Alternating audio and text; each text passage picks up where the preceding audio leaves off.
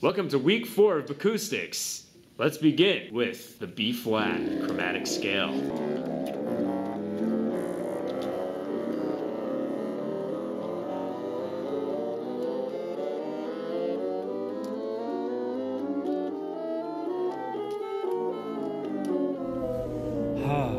I wish I was in Hawaii right now.